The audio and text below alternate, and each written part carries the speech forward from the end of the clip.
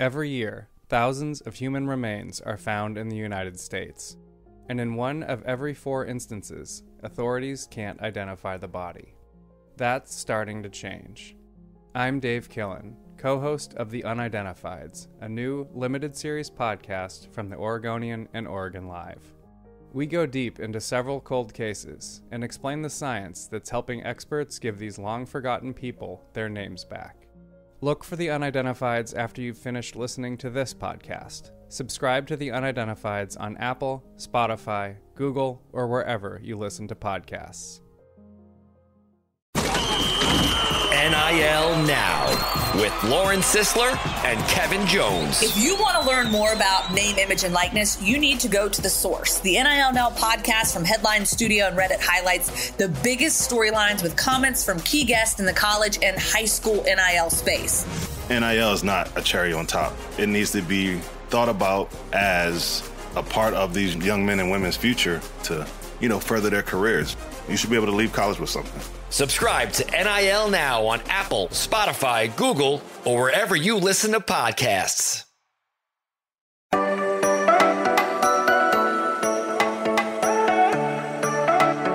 What's a Friday without another mock draft? We did our first one together as a podcast last week. PFF graded it an A. So let's see if we can go from an A to an A plus in our mock draft 2.0 Strictly Stripes edition. Welcome into another Strictly Stripes pre-draft mock draft podcast edition. Muhammad Ahmad, Andrew Gillis, and Mike Nizick here to wrap up the week with you. And just to remind you all before we get started, make sure that you sign up for our Strictly Stripes newsletter. It is very easy. It's free. It's in your inbox every morning. Make sure you go to cleveland.com slash newsletters and select the Strictly Stripes newsletter. You get all of the reporting insights and colorful opinions from me, Andrew, and Mike every day. And again, it's for free. Cleveland.com slash newsletters. So last time we used the pro football focused draft simulator. We have the settings the same as last time in terms of care for positional value, drafting for needs and randomness. So we're not going to change that. We're going to try our hand to see how things go. So we are going to get started. We have entered the draft. Do we want to offer a trade? No, we do not. So we are going to jump straight to number 28. The clock is ticking, it's moving, and we are on the clock. All right. So here's who we got, guys. So you can see my screen. Um, so to just to tell you real quick who went off the board the last couple picks, Michael Mayer went to the Cowboys two picks ago. Uh, Calijah Kancey went to the uh, Buffalo Bills after that. Bryan Bresee went to uh, the New York Giants, Deonte Banks went to the Jacksonville Jaguars. Darnell Wright and Broderick Jones also went off the board uh, at 21 and 22. So that's who's off the clock, or off the board, rather, excuse me. Here's who we have. Got Dalton Kincaid out of Utah, one of the favorite tight ends of the draft. Anton Harrison, a project we've mentioned, who would be a good fit at right tackle. Will McDonald at edge rusher out of Iowa State. Emmanuel Forbes, a really interesting cornerback out of Mississippi State who set records in college. Felix Anudike-Uzomah, another edge rusher from Kansas State. And Mazi Smith from Michigan, who I will say for those who didn't tune in last week, he was our first pick uh, in the first round. So, oh, and also got, of course, Dawand Jones, another interesting uh, prospect at right tackle the Bengals could look at. So, got Kincaid, Harrison, McDonald, Forbes, and Anudike-Uzomah, Oh, and BJ Ojulari from LSU, another edge rusher. What do you guys think? Do you still feel good about Mazi Smith? Do we want to repeat history, or do you think it's time to change things up a little bit with Dalton Kincaid on the board? I don't see how this would be likely. I mean, with Kincaid there, but I mean, they would not probably pass him up. Think so? Yeah, Andrew. I, I, think that's pretty. That's pretty fair. Yeah, I, the Kincaid. I, you know, it's it's funny. I think you know we've talked about um, we talked about Mayer before. I know Mike and I, uh, when we talked on uh, on the podcast that we did on Wednesday, um, you know, we, we, we talked about Mayer a good bit. I, I think he's the best tight end in the draft personally.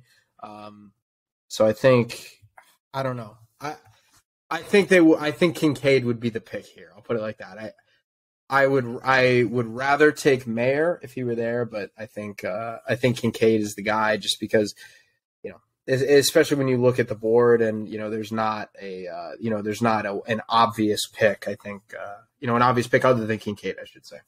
So I think Kincaid's it. Yeah, I think so too, and I think um, I thought a little bit about Forbes because I think he's really good, but I also think Kincaid is just that good that you don't pass him up like you said.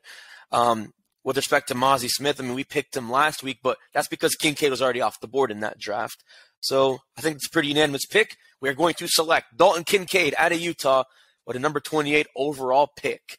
I think that's a good one, and I'm glad that it was unanimous because those are always the best picks. To the second round we go. We are cruising, cruising, cruising, pushing through to the 60th pick of the second round. Or I'm sorry, the 60th pick overall, 29th pick of the second round. This is a little interesting. So we got off the board uh, Tyrique Stevenson, De'Von Achane, two really interesting players, both off the board. Achane, the running back from Texas A&M, Tyrique Stevenson out of Miami, Florida. Keanu Benton, who was an interesting interior rusher, also off the board. Those are three guys I would have liked. Kelee Ringo also went to the Seahawks a few picks before that. And Cody Mauch, uh, one of Andrew's favorite guys out of North Dakota State, is also off the board. So some significant names there. Siaki Ika, man, would have loved that guy from Baylor. He went right before to the Buffalo Bills. But here's who we've got. Uh, we've got Tuli. I'm going to say this wrong. Tui Peluto. How dare you just pass over Tanner McKee, Muhammad? Oh, come on. Disrespectful. Tuli, Tuipulotu, edge rusher at USC. Sam LaPorta, tight end from Iowa. I mean, I think that's already off the board with uh, Kincaid being selected. Nathaniel Dell, wide receiver from Houston. Matthew Bergeron out of Syracuse, an offensive tackle, and then another Syracuse guy right next to him, Garrett Williams, cornerback. Tra- Tre'Vius Hodges Tomlinson at cornerback, Zach Charbonnet, running back from UCLA, and Nick Herbig, an edge rusher from Wisconsin. I think really it comes down to Bergeron, Williams, Hodges Tomlinson, and Charbonnet guys. What do you think? I, I think Bergeron is interesting. I think Mike, you've talked about him before. He could be a a good project at tackle. I like Garrett Williams too. I don't think that's uh, I think that's a bad pick to have at corner, especially this early in the draft. But what do you guys think from those names I mentioned? Or am I completely glossing over Zach Charbonnet right now? Yeah, I mean I've been on Charbonnet since the start. I wouldn't see any reason to sort of change, especially you know you even arguably get the best tight end prospect. You pair him up with a dynamite running back. Um, I know this team's now tilting way into the offense in terms of like uh, talent wise and, and money wise, but I, I don't see why you would pass that opportunity up, especially given Joe Mixon's situation, uh, your lack of depth at running back. Um, he's ready to step in. He, he's excellent in all sort of phases of the game. Um, I mean, what else do you need? It's like it's the it's set up perfectly. Is it perfect, Andrew? Is it that perfect? No, perfect. Perfect is too strong a word. Um, but I think, um, you know, but I think Charbonnet, like, he, I think he's really good, and I think he fills a void. Um, you know, and I think he's probably better than you know end of the second round guy. I think he's actually a really talented running back. Who was our second round pick last time? Was I think it was Julius Brents. It uh, was cornerback out of Kansas State. That yeah, so I, with, with, him gone, you know, Brents is one of my guys, so I really like this draft.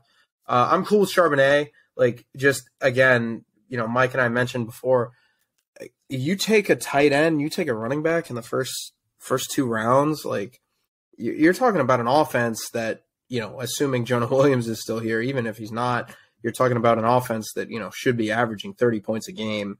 Um, so yeah, I, am cool with Charbonnet. Uh, you know, I think he fills a need, and I think he's uh, you know he's going to come in. I think he would come in and you know, he would be an immediate three down running back for them uh, if you need him to. And you know, I I, I think that it's just it, it makes too much sense.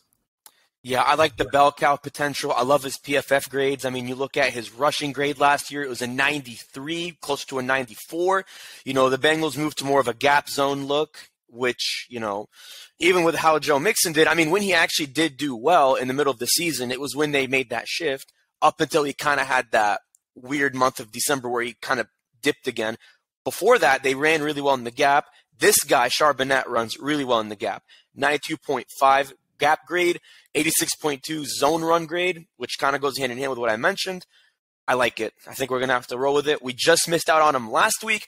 We're not going to miss out on him this week. So with the 60th overall pick, the Bengals select Zach Charbonnet, running back at a UCLA. Charbonnet. Right, this Hey. Charbonnet. Thank you, Andrew. I, I am horrible with the pronunciation, and you would think otherwise. Yes, yes. Thank you. Thank you. Okay. Uh, we are at the 92nd overall pick. We are in the third round. So, again, to kind of take stock of, stock of who's off the board, I'm kind of bummed out about this one. I actually would have considered him in the third round. Blake Freeland, uh, Blake Freeland, uh, tackle out of BYU, went to the Buffalo Bills before the Bengals. Tank Bigsby, um, who wait, did we pick him last week? I think we did pick him last week, didn't we? No, I Uh, or did we pick the McBride kid from UAB? we picked McBride. Yeah, you know, I picked Yeah. Bigsby in my mock draft. So yeah, we we picked McBride, but Bigsby's off the board. Marvin Mims, wide receiver out of Oklahoma's off the board. I mean, if you really want wanted depth at wide, wide receiver with Tyler Boyd entering a contract year, you could have flirted with that. But Williams, Garrett Williams, who we mentioned, uh, also off the board. Zach Harrison, the edge rusher from Ohio State, off the board, and Tyler Scott, the local kid out of UC, Cincinnati Bearcat, off the board. Uh, those are the notable guys off the board. So here's who we've got. Um, we still got Tre'Vius Hodges Tomlinson, who we mentioned, the TCU corner. Uh, one of Andrew's favorites, who I think we can talk about, Andre Carter II, edge rusher out of Army. Uh, Michael Wilson, a wide receiver from Stanford. Anthony Johnson Jr., who we had as a safety selected in the fifth round last week. He's on the board right now. This is an interesting one. Uh, one of the more interesting safeties of the draft that I don't think we talked about last week. Jordan Battle from Alabama. His uh, teammate Brian Branch is the highest ranked safety in the draft, so he's already off the board by this point. Isaiah McGuire, Karl Brooks, two edge rushers from Missouri and Bowling Green, respectively. I mean, I don't know. What this is actually an interesting one. I think you could go a lot of different ways with this. I'll let you guys kind of take the floor. I mean, who who comes to mind from those names I mentioned? Yeah, I, I really like Andre Carter. Um, you know, I know he's kind of uh, he's he's fallen in the last you know couple of weeks, couple of months. You know, he didn't really have a good combine. Um, you know, he, he's and he's certainly more of a project, uh, which I know Mike kind of talks about as something that this team shouldn't do. But you know, I, I I think that Andre Carter would be a good pick just because you know you need something in your pass rush. Uh, you need to add something there. I think it, at the very least you can kind of have him as a situational pass rusher. You know, he's really long. He's six foot seven. Uh, you're talking about a guy who, if he can come in and, and kind of just give you, you know, uh, give you a burst on third downs, on on obvious passing situations, I, I think you're feeling good about that. And I think you know he's kind of has the frame. I know Army has some, you know, with Army there's it's a different conversation with anybody else. There's you know different physical requirements with those kids um, that you have to pass. So I think kind of getting him in a in a pro weight room in a pro um, uh, what's the word I'm looking for? Uh, you know, uh, health, what a health and fitness regimen, basically of uh, of a Yeah. professional football player. I think I think that'd really help him.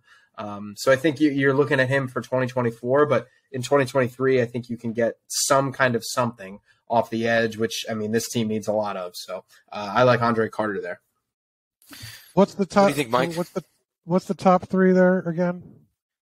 So we've got, not including Tanner McKee, sorry, Andrew, Tre'Vius Hodges Tomlinson, cornerback from TCU, Andre Carter, who we talked about, and Michael Wilson, who's a wide receiver from Stanford. And then you got a few edge rushers and a safety like Jordan Battle beneath them. Yeah, that's not a great board to end the third round. Uh, No. Yeah. Tomlinson is what five eight. I don't think. th- I mean, he has standout uh, athleticism and everything, but I don't think the Bengals would would select him. Um, you know, Carter. Uh, you know, I, I'm not sure how much we could count on him for this. Uh, you know, this fall, but he might be the best player available at that point on that board. Um, and you know, I'm not opposed to drafting an edge, edge rusher. Um, so uh, I can. Uh, I'll give that one to to Andrew. Yeah, you know, I was looking at Tomlinson. I was leaning more cornerback, but I mean, like with what you've got, that's not the best board for corners. I mean, you have to go all the way down before you want to find a good corner, and that's Jaylon Jones out of Texas A&M, who maybe we revisit that in the upcoming rounds. But he's five eight. He doesn't. He plays well in zone, and I think his athleticism is fine, but it's not quite the Lou Anarumo fit. I think with Carter, you know, whether you have him for depth this year or you count on him later on, like two, three years down the road, depending on what happens to Trey Hendrickson, I don't think it's the worst pick in the world. I think it's not a bad guy to have with Joseph Ossai and Cam Sample. So I'm going to concede to that, just given kind of how the draft board is. So we're Going to do it. We're going to select Andre Carter II out of Army, edge rusher with the 92nd overall pick. All right, we are about halfway through our draft, but when we come back, we are going to see if we can make some more late round splashes, which I think is what got us that good grade last week. So we can go from that A to that elusive A plus. We'll be right back on the Strictly Stripes podcast. Hey guys, if you love college football, we think you'll like the College Football Survivor Show. I'm Doug Lesmerises, and my co-host Shahan Jeharaja and I. Each week we talk about the best programs, best coaches, best players in the sport. It's all football, no off-field stuff, no legislation. It's about the teams that are going to matter most in the playoff race. Will Georgia three-peat? Always on the lookout for angry Bama. The Big Ten, Ohio State Michigan battling at the top, and Penn State on the rise. The Pac-12 matters again, not just USC, but Oregon and Washington as well. The playoff is expanding. Expand your podcast listening. Try the College Football Survivor Show wherever you find podcasts. All right, thanks for staying with us on the Strictly Stripes podcast. So we have gone through the first three rounds of our PFF Draft Simulator mock draft. And before we get back into our fourth round pick, we want to remind you guys to sign up for our subtext service, Cincinnati Football Insider. Again, it is an exclusive community of Bengals fans where we send you and I mean you directly to your phone, all of the latest updates, insights, and analysis on the team that you're not getting on social media and not on the internet on our website as soon as we get it to you. It is free to start. It's a free two week trial. And if you want to stick with it, it's $4.99 a month. You can cancel it anytime during the trial, but but I'm gonna tell you this. When you join, like our other subscribers who have joined, you are gonna be glad that you are a part of the greatest class of Bengals fans out there. Again, go to cleveland.com slash Bengals. Click on that blue banner at the top of the page to sign up. All right, so we are in the fourth round of our mock draft.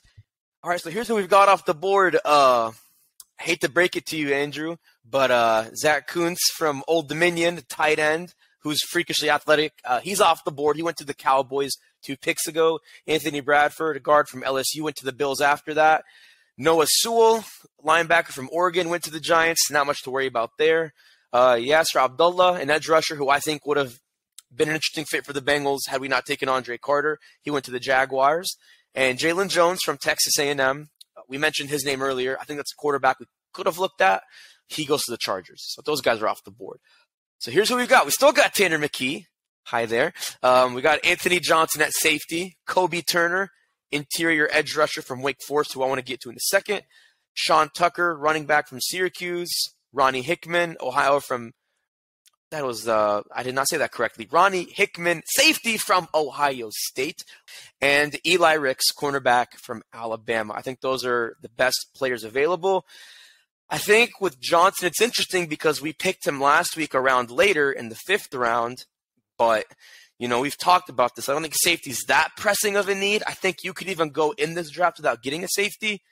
I really like Kobie Turner. I've said it before. I think he's underrated. He did not get invited to the combine, but his PFF grades are great, uh, both in pass and run defenses. And, you know, I understand he's 6'2, he's just under 300 pounds, which I think if you're the Bengals, you want a little bit more height and weight. If you're an interior guy, you want that 6'3 to 315 range, like you get with DJ Reader and BJ Hill. But I don't know. I think this is the guy that's very underrated. I think you can put him next to Zach Carter for depth. And depending on what happens with DJ Reader after this coming season, I think those are not bad options to have. What do you guys think? I think Kobie Turner might be the guy, but I want I want your all's perspective on that. Can you show us more of the board? I, I can't really. Yeah, I need to see. Sure. So we're we're pulling up his grades right now, which the uh, draft simulator well, not, lets not you him. do. Like who's else is No, available? no, I, yeah, I need to see like more players available. So we've got Anthony Johnson, who I mentioned, safety from Iowa State. Sean Tucker from Syracuse, running back. I didn't mention his name. I mean, he's a center, Wow, and I don't Juice think Scruggs, what a name! Juice Scruggs. What a name! Yeah, center from Penn State. I only say his name because it's an interesting name, but the Bengals don't need a center. Ronnie Hickman from Ohio State, who's a safety, and Eli Ricks, cornerback from Alabama. Keep going. If you want to go farther down, you've got Andrew Voorhees, uh, guard from USC, who hurt himself at the combine. Uh, Ivan Pace Jr., the Cincinnati kid at linebacker. Talked about him a bunch. Viliami Fehoko, edge rusher from San Jose State. And if you're looking at another running back, Deuce Vaughn from Kansas State, also still on the board. If you want to go even farther, you've got an interior guy, Keondre Coburn, out of Texas, who played with Joseph Ossai at one point when he was at Texas as well. What do you guys think? Better options there? I, I so I really Coburn, like Voorhees. I think I drafted Coburn in the uh, last mock draft I did. I mean, he's he's interesting. His production isn't like great uh, in college, but he seems like um, in, in, terms of what the Bengals look for at that uh, defensive tackle uh, position, um, he would fit the fit the bill. Can can get to the passer, but um, I think is really effective. Uh, run stopper as well. Has got the size um, and and athleticism. I think um, you know his production is probably not where Kobie Turner's was, but I'd I'd prefer him in terms of uh, the fit and and uh, just how you how he projects out. I don't know, Andrew. If you had to pick between Turner and uh, Coburn, like where do you kind of lean based on what Mike just said? So uh, neither. Um, I really like Voorhees. Um, you know, Voorhees really? is a guy to me who you know we're talking about the offensive line. Uh, you know, obviously there's questions there with you know what's going on at tackle, right tackle specifically. Um, you know, you you feel good about where you're at everywhere else. You've got Orlando Brown set for a while. Cordell Volson set for a while. Ted Karras still has two years left. Ted uh, Alex Cap I think has three years left. So you're feeling good about the yep. four spots, but Voorhees is a guy who probably wouldn't be on the board at this point if he hadn't have torn his ACL uh, at, right. the, at, the, combine. So I don't know. I, I I just think that this could be a really nice value pick where you know the offensive line you've got you know options there. You know with Jonah in the fold, you know, you've got Cody Ford as a backup option now. You've got La'el Collins, who you know is still recovering from an injury. There's there's options there, but I, I like Voorhees. You know, he's six foot six. Uh, he played guard in college. I wonder if he can play tackle. Um, you know, I think that uh, you know I think that he could just be a really really nice kind of draft and stash. I know you already did that with uh, with Andre Carter, but you know those to me are, are two mid round guys who you know you're feeling really really good about going into 2024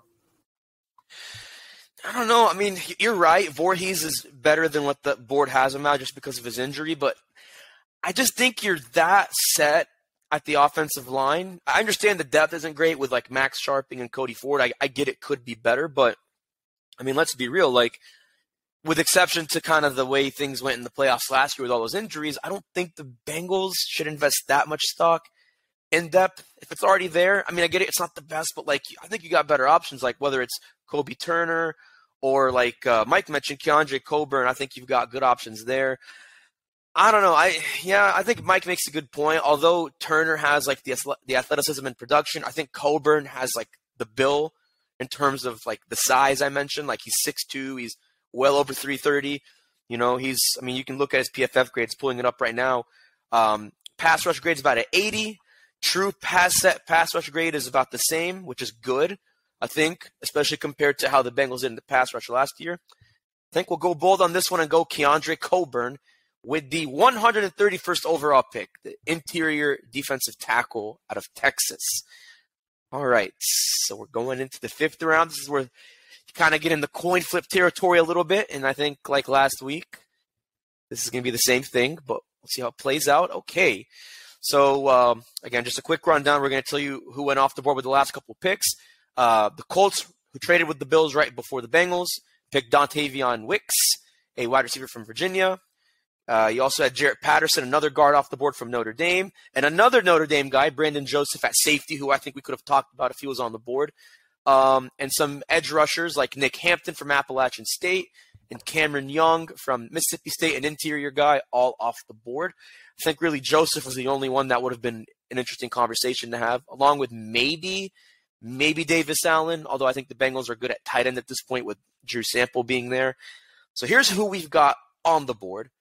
Somehow, some way, Anthony Johnson is the favorite on the board in the fifth round again for this mock draft that we do together and for the one that I did and that Andrew did. He just seems to be a perfect fifth round fit. But you do also have Ronnie Hickman, who we mentioned, the Ohio State safety. Uh, as far as edge rushers go, you still have Viliami Fehoko from San Jose State.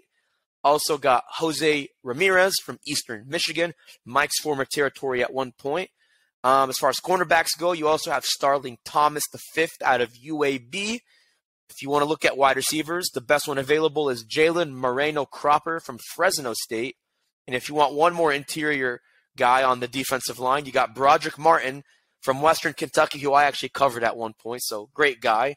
But out of those names, I mean, should, should we just say forget it? Just just go with Johnson, roll the dice, just say he's meant to be there in the fifth round, or do you think there's a debate to be had with Ronnie Hickman as far as who's the better safety? No, I, I like Johnson. Uh, you know, I think we picked him in our last mock draft. Uh, I picked him uh, in one of mine. I just, you know, you're talking about a player who, you know, I remember he, you know, reading he was a captain at Iowa State. Uh, he played multiple different positions. And, you know, when you get to this point in the draft, you need guys that are versatile. You need guys that are going to come in and, and kind of, you know, with, you know, culture is a kind of an overused term, but, you know, you, you don't want a guy who's kind of coming in as a, you know, as a troublemaker or anything like that. And, you know, by all, you know, by all accounts, I'm not saying anybody else is or anybody else we're not going to pick is, but, you know, I just think that Johnson, from everything you read about him, uh, you know, he comes in, he's going to do his job and, you know, you can develop him into a safety that can, you know, can actually play meaningful reps uh, down the line. But early on, he's a good special teamer and he's a good depth safety. So I really like him.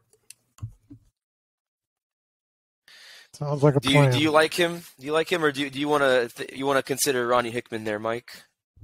I I I go with uh, Andrew. All right, I I'm gonna be honest. I have just kind of looked at Hickman's grades a little bit. Better coverage grade. He had an 89 uh, overall grade, whereas Johnson had about a 75. But again, like just to preface what we've mentioned, you know, safety's not the biggest need. It's a depth need, but it's one of the lowest depth needs at this point, really, in the draft.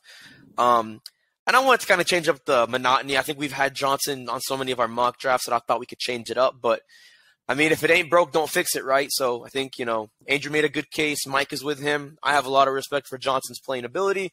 And I think he'd be a great fit for what the Bengals need on special teams, like Andrew said. So let's just do it again. With the 163rd overall pick, the Bengals select Anthony Johnson, safety out of Iowa State.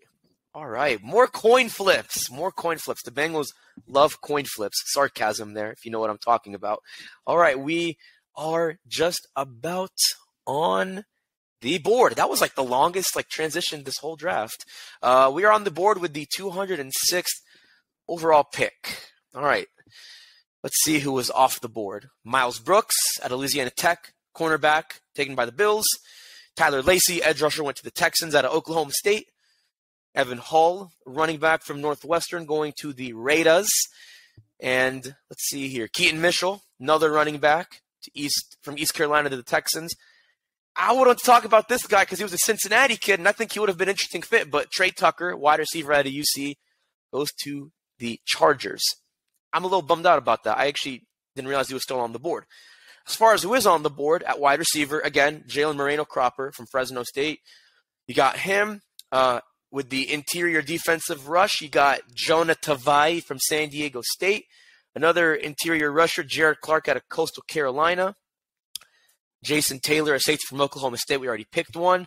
Ooh, one of Andrew's favorites from last week, who I don't think we picked, but Dorian Dorian Thompson Robinson, quarterback out of UCLA. Bengals still need a backup. Uh, Brandon Allen has not been signed, and Trevor Siemian, if they're considering him, they haven't signed him either. Uh, another interior pass rusher, Jacob Slade from Michigan State. I mean, if you want to entertain another backup quarterback, Stetson Bennett from Georgia, he's he's still on the board. I'm not surprised, but somewhat surprised.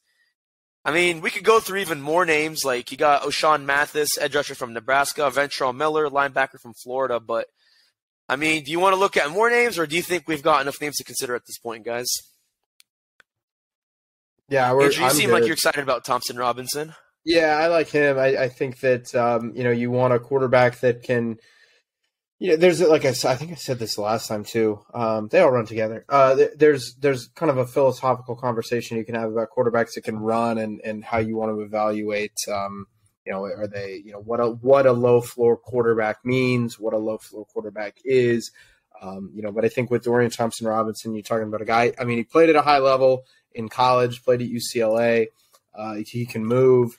I, I, just think that he gives you kind of a dynamic that you know you might need. Uh, you know, I mentioned the the quote about Tom Moore last time, and the uh, you know what happens if Manning goes down. Well, they'd be kind of the same boat here, but um, I think that you, you do need a backup, and you know you might as well draft a backup that can you know give you a little bit of spunk and a little bit of a a different look when he enters the game. So uh, I like Jordan Thompson Robinson. Yeah, Do you like Jordan Thompson Robinson, Mike?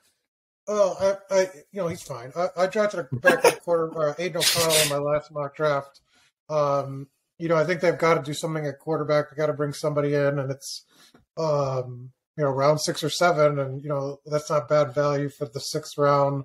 Um, to to get him there, I just think you have to have somebody to compete um, in training camp um, with Jake Browning and um, try to elevate that room a little bit after you know not re-signing Brandon Allen. So um, not not against that pick at this point in the draft.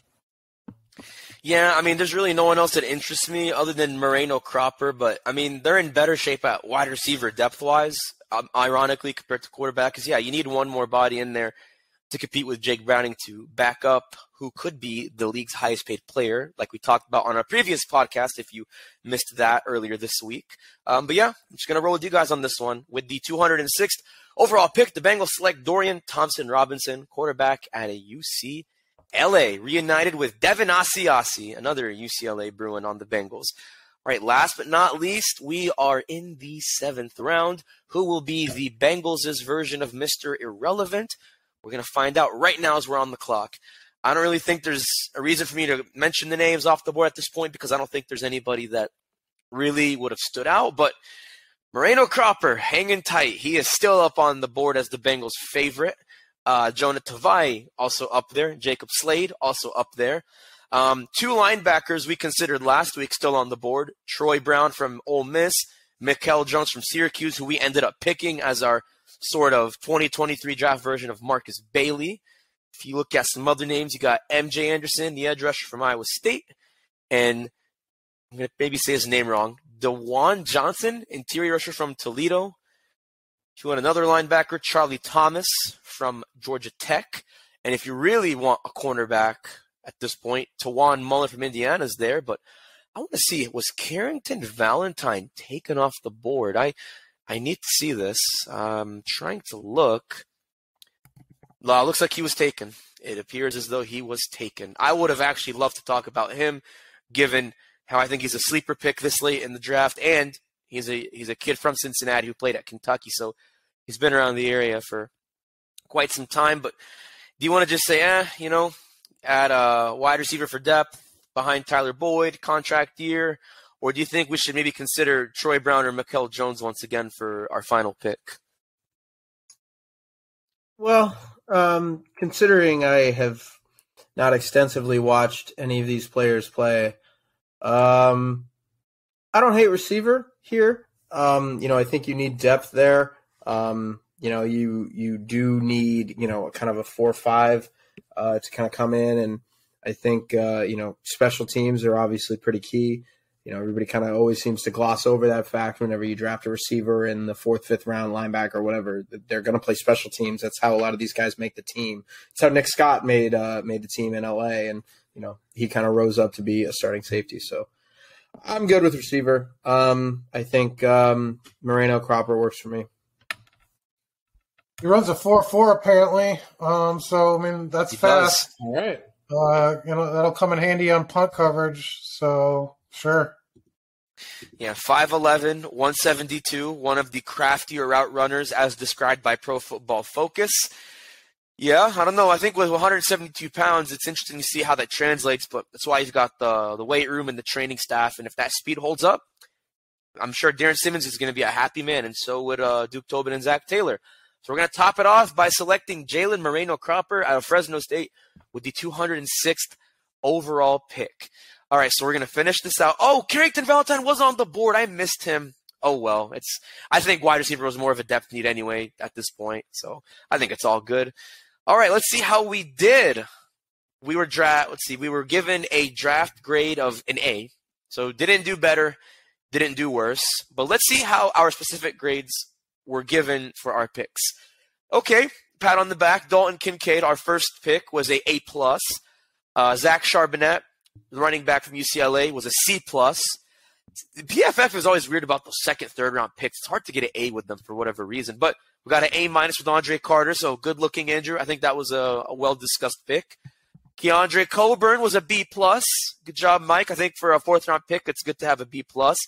And then we just killed it with three straight A pluses. Anthony Johnson, A plus. Dorian Thompson Robinson, A plus.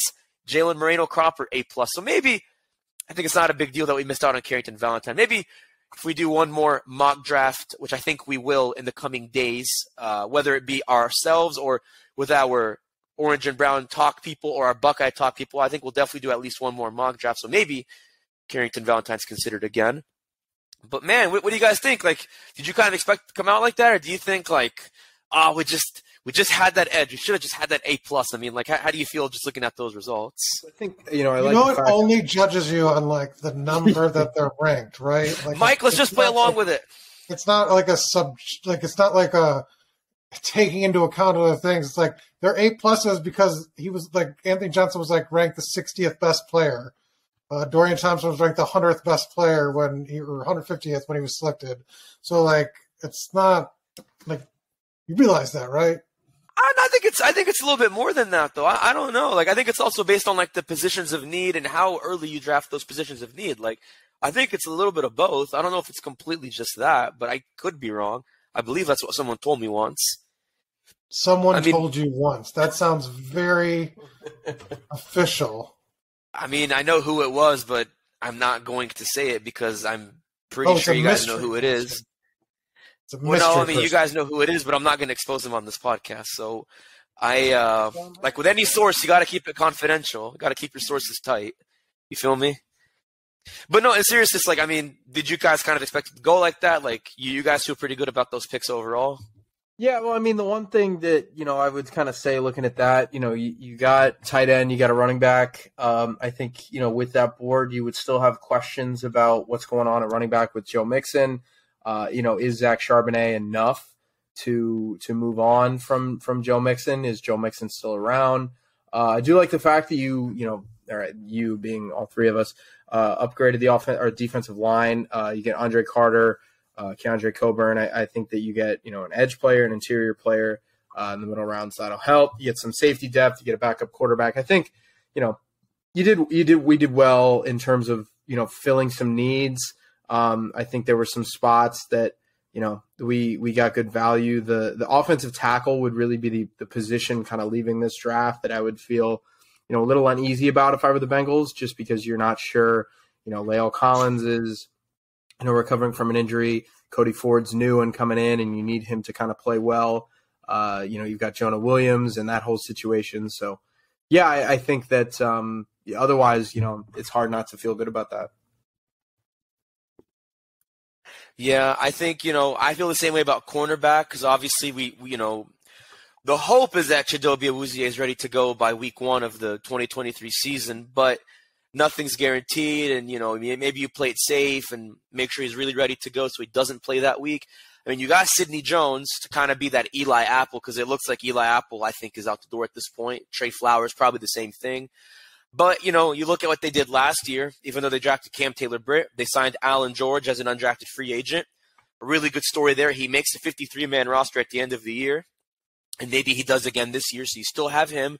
Maybe you do the same thing this year, whether it's with a Carrington Valentine if he's not picked, or any other names that I didn't mention, kind of like who Allan George was last year.